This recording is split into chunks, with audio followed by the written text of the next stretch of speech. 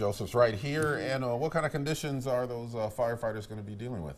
Well, they're going to get an increase in uh, relative humidity over the next couple days, so that's good because it's more moisture and they won't be dealing with such dry conditions. Uh, the thing is, it's been going towards Hood River because we've had a consistent west wind that's been pushing that flame, uh, those major uh, big areas of flames, over towards areas like Hood River and towards the east. So we haven't seen much smoke here in Portland because the wind hasn't been cranking out of the east. It's been coming out of the west. So we've been seeing clear skies uh, and those flames have been inching further off to the east. We have beautiful cumulus clouds right now. Let's go outside, take a photo, eat lunch outside. It's perfect. 66 degrees.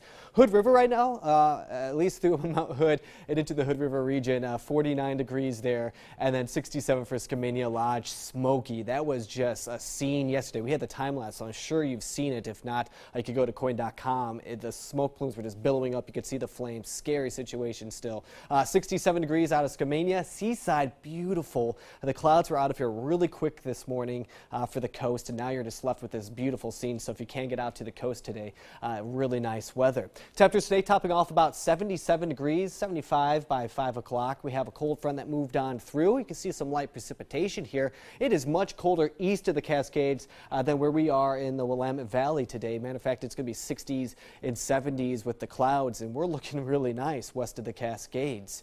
Over the next few days, I don't see much of a chance to see any rain, but we get into Sunday and it hits us hard. It's going to be late Sunday afternoon into Sunday night where we start to see some steady precipitation. It continues through our Monday and then on and off into Tuesday. So we definitely are going to have a big change in our whole pattern coming up. Uh, that rain I'm talking about, that system's developing way up here west of Alaska. It's eventually going to come plunging down through the Gulf of Alaska and providing us with some showers again late Sunday and into Monday. So the weather models are up and down. They're about a half an inch to a little over an inch of rain uh, through those two days. So about a 24 hour to 48 hour span of time. That's a good soaking. Matter of fact, from June 1st to September 13th, that's 105 days there.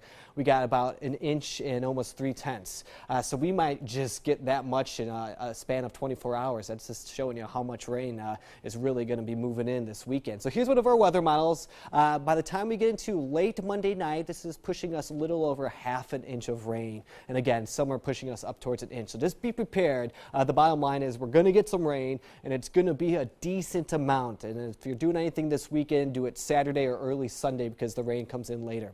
Here's 5 o'clock this evening. We start to clear out those clouds through the gorge. Still going to be very smoky there. We're clear from Seattle all the way down towards Medford. Our Thursday night's going to be a clear night, so expect kind of a chilly start to your Friday morning with those temperatures likely in the lower 50s. We get into our Friday morning, still not much happening. matter of fact, I'm going to turn around real quick. Right here, snow in Montana. They've been getting snow uh, and in the Rockies too, so we're slowly turning over here.